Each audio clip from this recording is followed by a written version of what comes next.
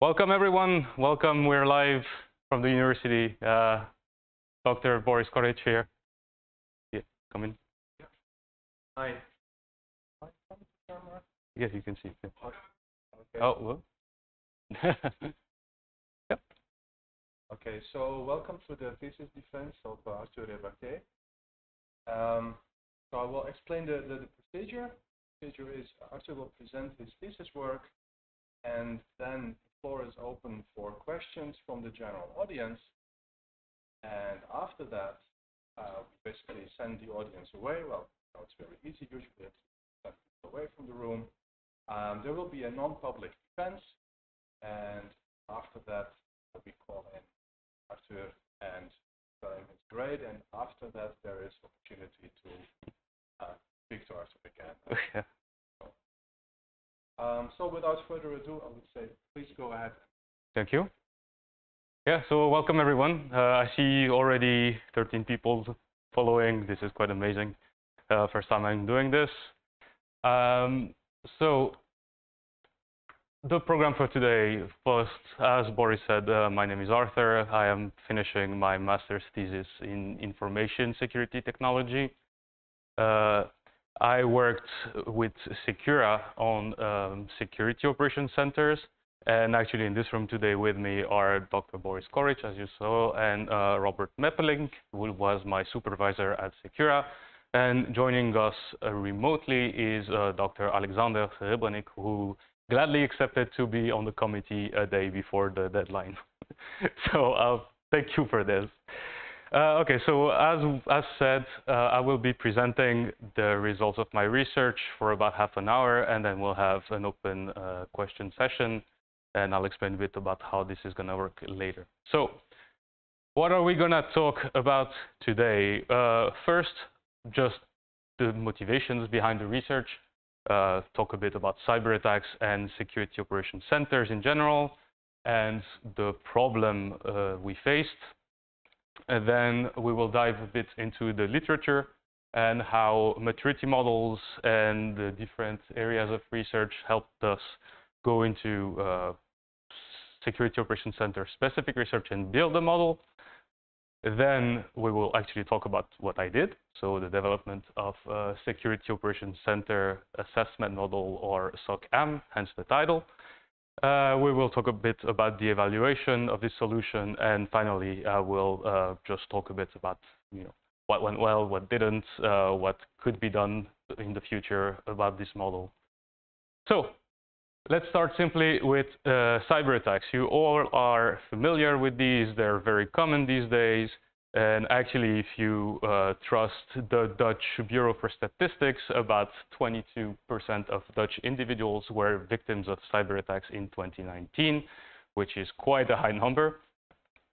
Uh, and if you look at the US, for example, the FBI reports over 2,000 complaints uh, per day.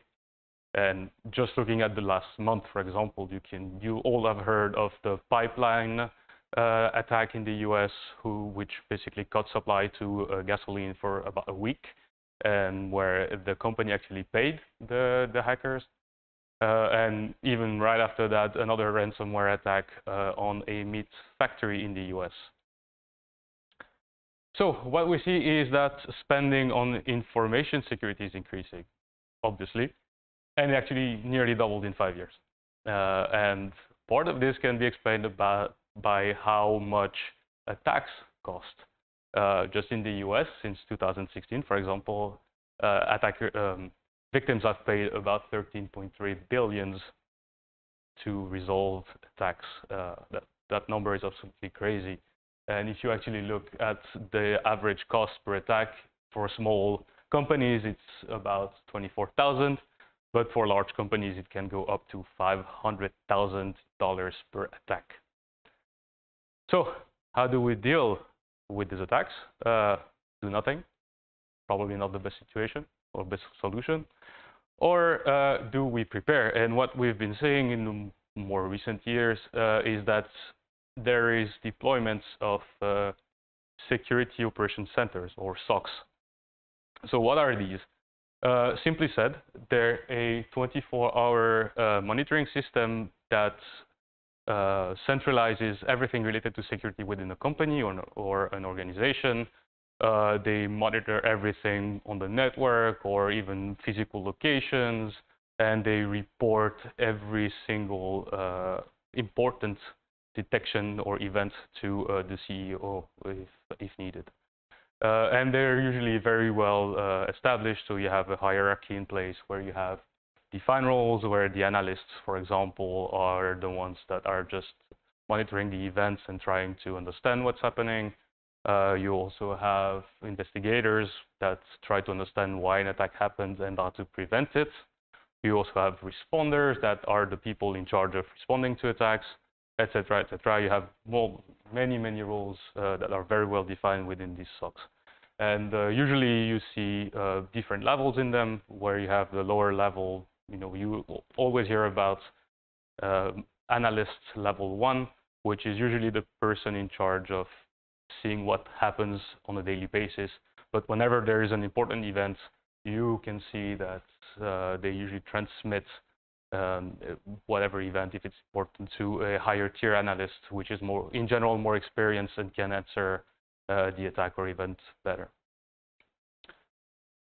And the way they work is simply by aggregating the data, usually by means of a SIEM or a security information uh, and events management system, which is just a piece of software that aggregates every event that happens on the network or in the in the SOC in general or in the company. Now we have some problems with these, uh, namely, do, how do we know these SOC actually prevent attacks, or how do, do how do we know they actually work? Uh, does it detect all the threats? Uh, is it missing critical elements? Uh, for example, you know, when you see that there are over 350 new malwares every day, it's easy to imagine that you can miss anything or miss something. Or uh, the other thing is with more with the cloud these days, everything is offered as a service. So how do you know which uh, SOC offering is the best for your company? Uh, and this all comes down to the question, how can we measure uh, the performance of a SOC objectively? So how do we design a solution to this problem? Well, uh, first, there are a couple of requirements here. The first one being accessibility, uh, meaning that you know if you develop a solution, it needs to be easily understood by people who are actually going to use it.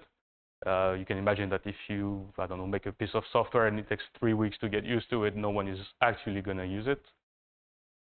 Uh, you have applicability, meaning that if you make a solution that only works for one specific SOC offering, uh, this is not good. You have to have a very general um, solution that you can apply to different SOCs so you can compare them. And finally, precision, because sure, making it generic to be applied to many SOCs is good, but uh, you also want very good results that might be a bit difficult to do when you have something that's broadly applied. So uh, is there actually a solution to this?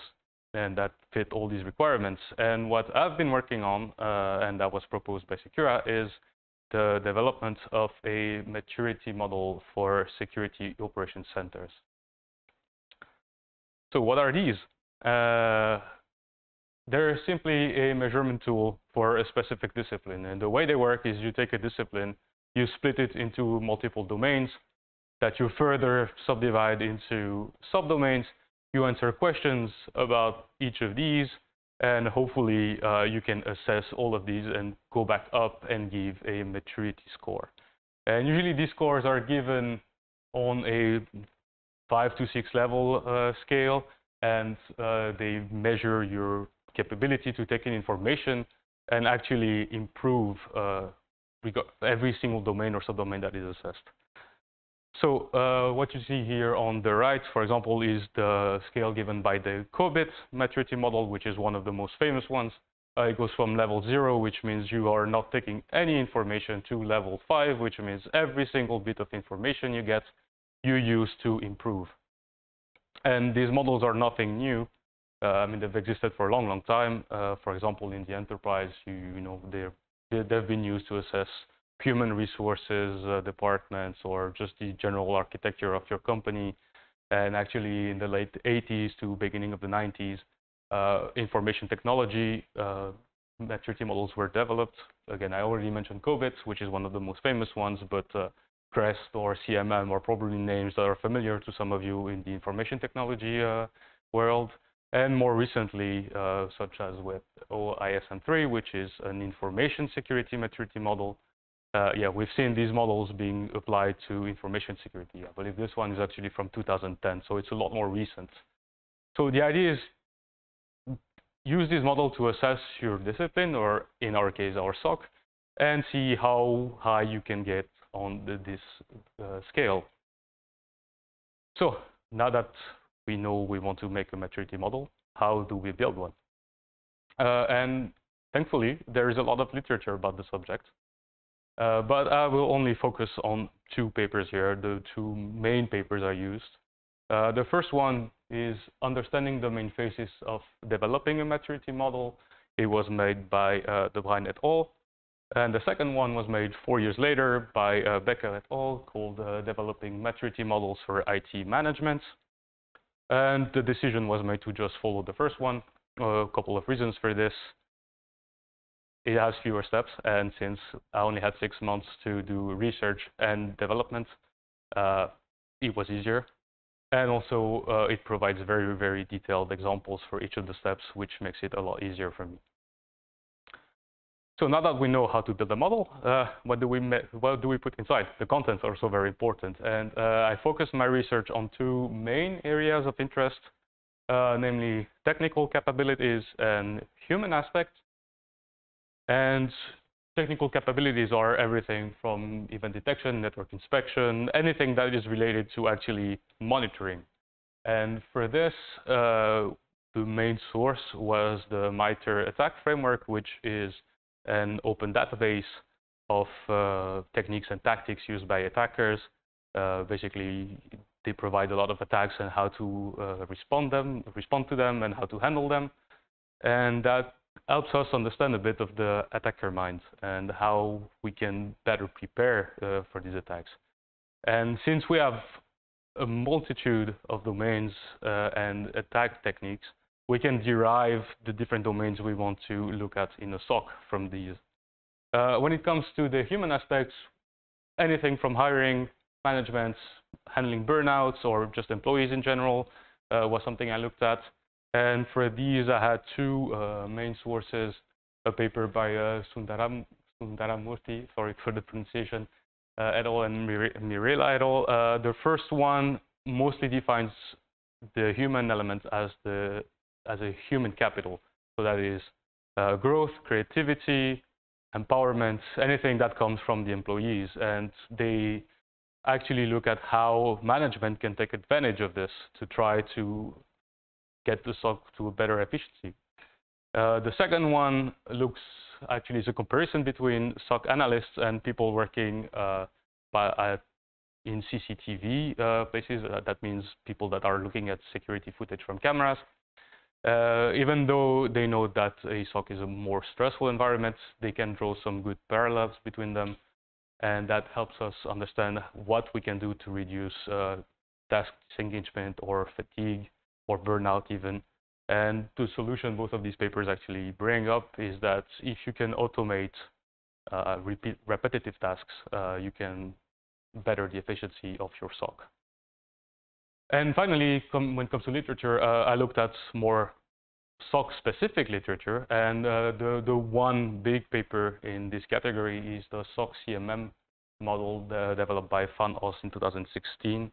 This is to my knowledge, one of the first uh, maturity models for, uh, for SOCs. And it actually was the starting point of my own uh, model. It takes a SOC, it breaks it down to five levels, uh, five domains, and many more uh, subdomains and with their aspects and questions. And it gives you a result based on a five-level scale as most other maturity models do. And this, uh, this paper was actually extended a bit by Erdur in 2019. Uh, and what he did is, you know, it, uh, it noticed that the maturity model is here to help you continuously improve. And he said that, well, if we do this for the discipline, how about we do it for a model too? So take your model and don't treat it as something that you do and is done once you're over, but rather make the model evolve at the, following the technology you implement in your SOC. So all of that said, that brings us to what I have been doing for the past six months. Uh, that is the SOC AM for Security Operations Center assessment model. Uh, on the right here, you have some of the timeline. Uh, I mean, the first three months were mostly dedicated to defining the problem and reading about it. Uh, and then the next two months or month and a half was about development of the model, followed by evaluation. Uh, it is a new addition to maturity models for SOCs.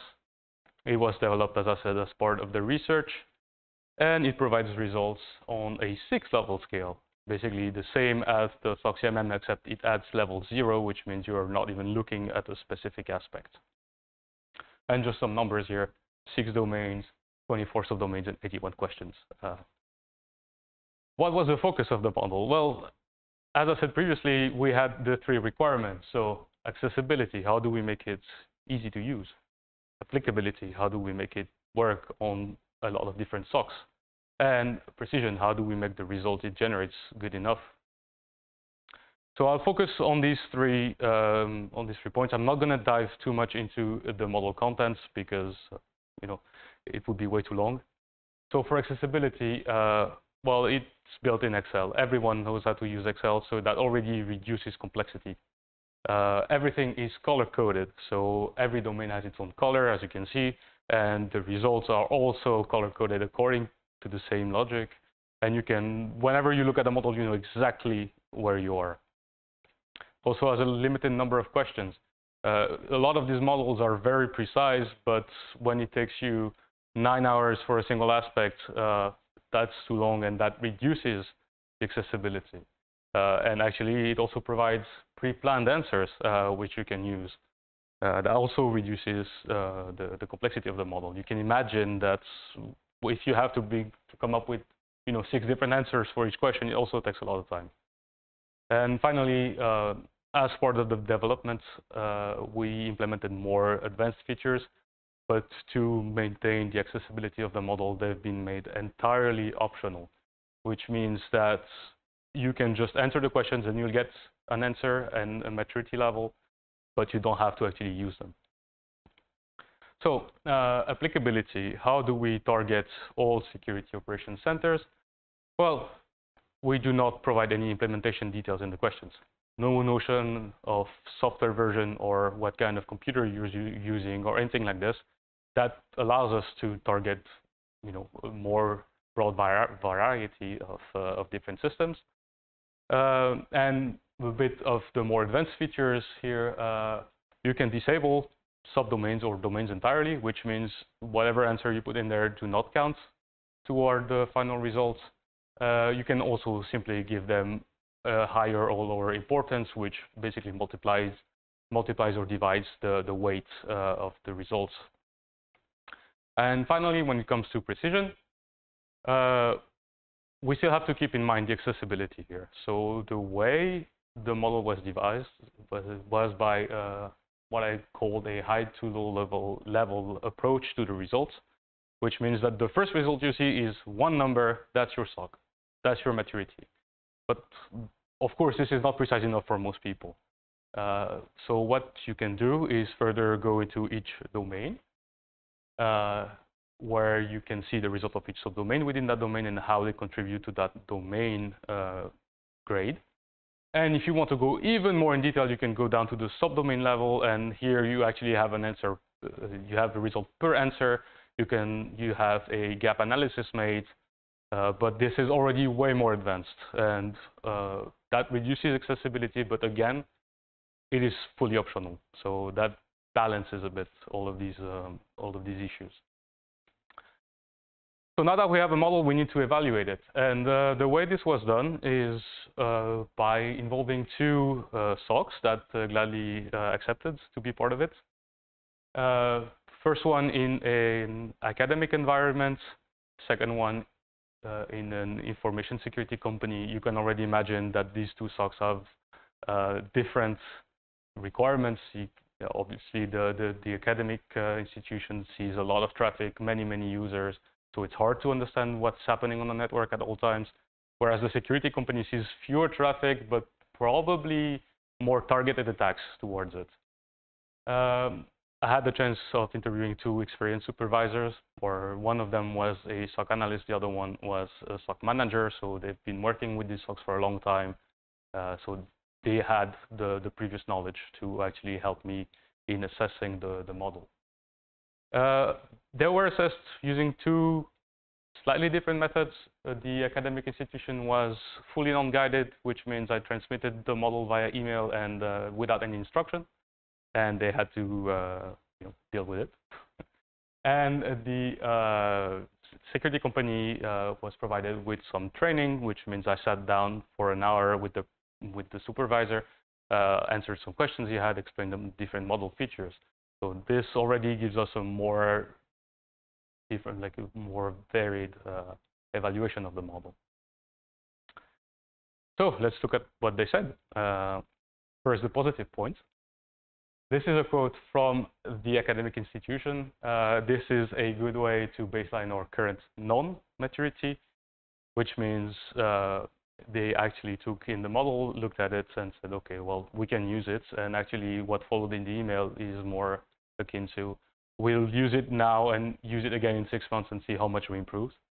And for the um, institution, what we see is that they answer that it would be really useful for them, uh, for most of the companies they, they actually assess. And they, it provides feedback and guidance to them. Um, and actually, I've heard from, back from the company that they are interesting, interested in actually using the model once it's uh, done and released. Negative points, though, because not everything can be perfect. Uh, this is a quote again from the academic institution, um, and this relates to more of the advanced features of the model. And uh, what we see here is this, uh, that uh, when he said making the result questionable, he was talking about a specific domain that was not applicable to, to the SOC. Uh, and the second part of the, of the quote here is what mattered to me mo most, or was it me not searching enough? this feature is present in the model. You can disable the domain. But since the, they were not given any instruction on how to use it, there might have been some misunderstandings here. So while these features are optional, uh, they would have been helpful in that situation, and maybe instructions would have, would have been a nice addition. We also had some major problems during the evaluation. Uh, as you might have seen, the conclusions are only drawn from feedback I got by email. Uh, we experienced ma massive delays, which, uh, I mean, the model was submitted around mid-April to these companies, and I only had confirmation that the results would not come about two weeks ago, so very, very late. Uh, and basically what happened is both of the of the SOCs answered that more time and resources would be needed for a proper maturity evaluation. Uh, you can imagine that with uh, the situation in the world right now, it's a bit complicated to get a grasp of people. Uh, and that's, yeah, maybe budget is not uh, there for this kind of evaluation on a product that's not been tested before. So, uh, what conclusions can we bring from this? Uh, as a reminder, the uh, problem was how to measure the performance of a SOC objectively, and we devised the three requirements of accessibility, applicability, and precision, to which we proposed a maturity model. Again, this is the timeline we used. Uh, first, review the literature, then develop the model, and then uh, evaluate it. And now the question comes, is the model I developed, SOCAM, is it a, an actual solution to this problem? And I believe that it is. And this is part because it was built around the requirements and because the feedback I got both at the end of the evaluation and during the initial development, which was done in multiple cycles with intermittent feedback in the middle, uh, everything came back very positive. So indeed, I do believe that it is a solution. And as you know, some added bonus, I guess, uh, I had positive feedback from the different organizations that they would actually probably use it once it is released to the world. So as a final word here, um, let's just have a bit of, uh, you know, overview of what went well and what didn't. What went well? Well, literature review went extremely well. I mean, I spent three months just looking at what exists in the world. Uh, it is very detailed. There's a lot to see. Uh, although the SOC-specific literature is a bit scarce, it is very possible to just look at different information security techniques and how you can bring those into a SOC. Uh, the model development actually went very, very well, uh, using three cycles to make the model where the first one was just figuring out the contents and the general look of the model, uh, and then have feedback on this, implement more contents related uh, feedback, again, have it evaluated, etc., etc., means that there was a good balance between development and review of the model, uh, and that also bring, comes from a good communication that I had both with the company and my supervisors that I could always reach when I had an issue, or that also provided a lot of uh, good uh, guidance, being the just uh, you know the writing or what should be in the in the model itself. And yeah, if we come back to the main problem of this research, it was the maturity level results, which were delayed and eventually fell through. So uh, as a you know submit like suggestion for further research, what I would say is take this model and try to apply it to a lot more SOCs than just two get more results, compare these results, and that way you could have uh, actual evaluation of the model that's more grounded in the reality of different SOCs. I would like to thank you all for uh, the attention. Uh, thank you for following the live stream. Uh, I see there's quite a lot of people in here. Uh, we will have a Q&A session uh, right after the presentation, but first I want to thank some people. Uh, first, I want to thank Dr. Robert Meppelink here that offered me the possibility to do this research at Secura, even during the second lockdown in the Netherlands here. Also would like to thank my supervisor from the university, Dr. Boris Škorić here, which was always available and we had very regular contact. also, Dr. Alexander Serebrenik, who isn't here but is joining remotely, for you know joining the committee at the very last minute. Uh, and yeah, all my friends here in the Netherlands uh, or abroad that you know followed me uh, during the last six months and even more. And if you'll literally pardon my French, euh, j'aimerais beaucoup remercier la famille parce que ça fait six ans que j'ai déménagé aux Pays-Bas. Euh, J'aurais jamais pu faire ça sans votre soutien. Merci, merci, merci beaucoup. Uh, yeah. Okay, so we will jump now into the Q&A session. And uh, you have two ways of joining. You can either ask questions in the live chat where it might be a bit harder for me to read, or you can join via Zoom. There is the QR code here, or there's the link in the description. Keep in mind that if you join, you will be heard on stream. So if you're not comfortable with that, uh, just ask the questions in the in the chat box. Uh, but again, thank you all, and I'm eager to see your questions.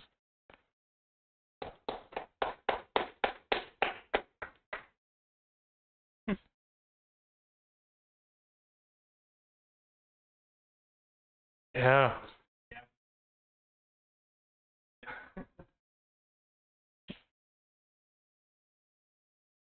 Okay, we have one person here.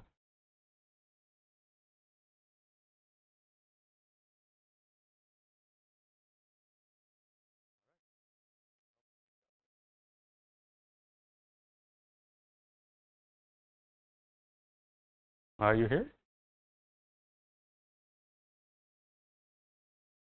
Hmm?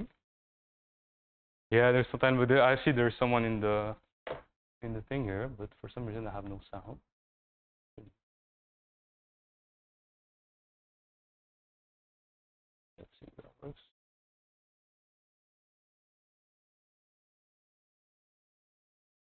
I definitely have sound, so there is an issue. There's another issue here. Uh, okay. Are you muted by any chance?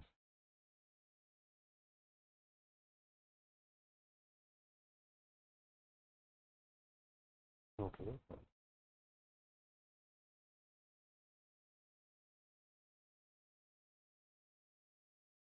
Anyone else?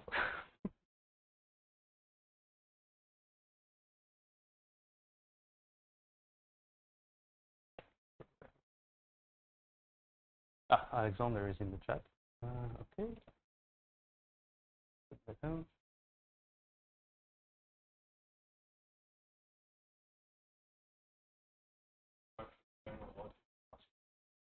Yeah, I know, but he's here, so.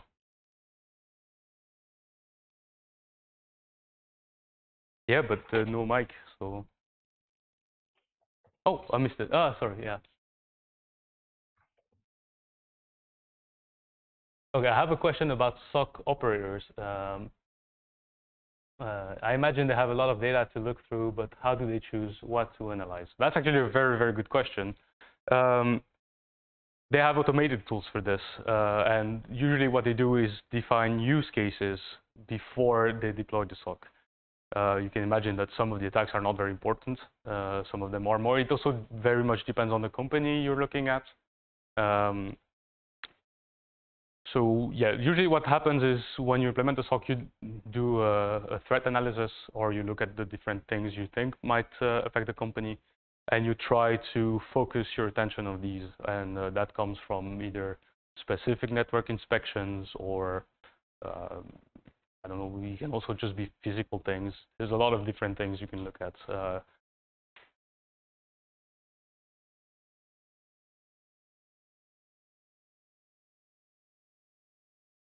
any other questions?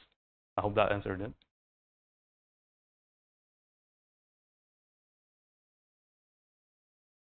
Yeah, I know.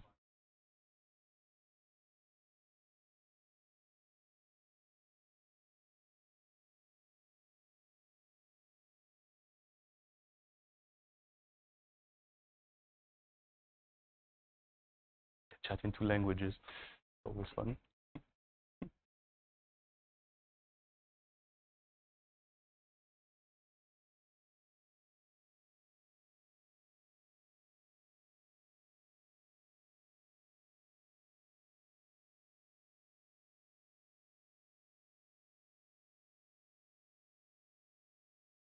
Oh, yeah. yeah.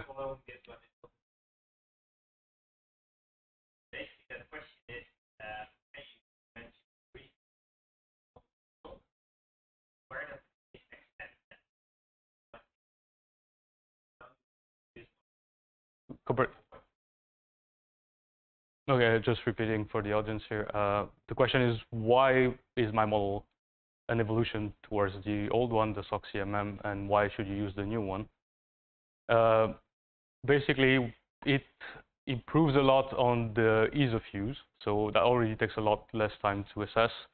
Also, there are some, uh, okay, I'm going to dive a bit into the contents here, but some of the domains uh, were missing, uh, in our opinion, uh, in the old model, especially when it comes to actual implementation of different security policies. So the model I have has an extra section about all of these. Yeah, so basically the, the two main things are the ease of use. Also, you have a more, you can either have a, use the model as a self-assessment tool, but you can also use it a second time as an external audit tool, which is not possible in the in the old model.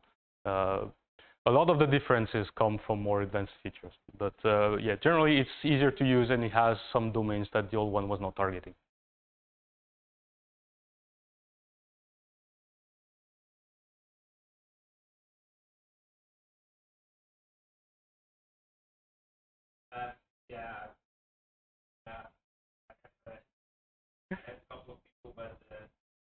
Yeah, the, the well, I mean, we're still. But...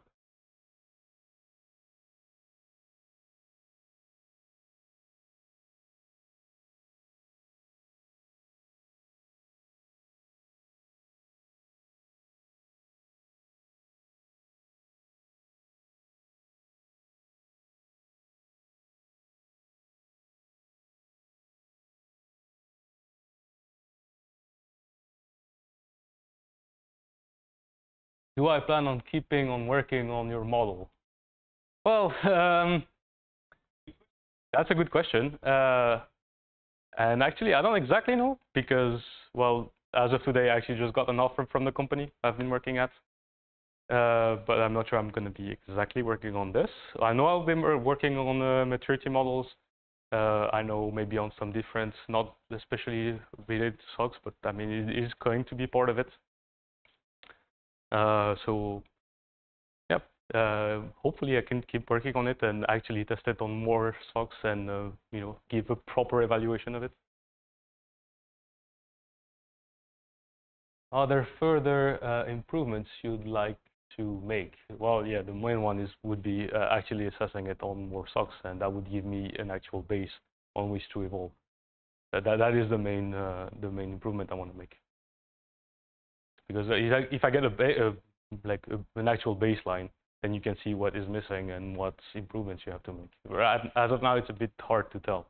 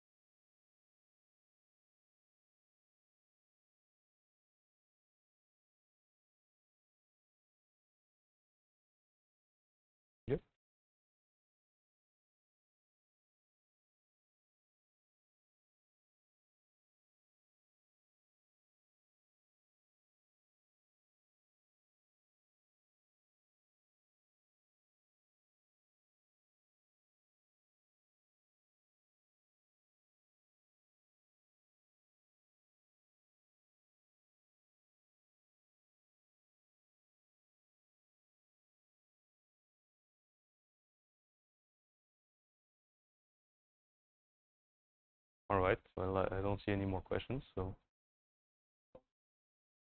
All right. Okay. Well, again, thank you all for watching. Uh, we'll be closing this. Uh, maybe get in touch later for those who want. But uh, yeah, well, going to, we're going now to the sorry for that, but private part.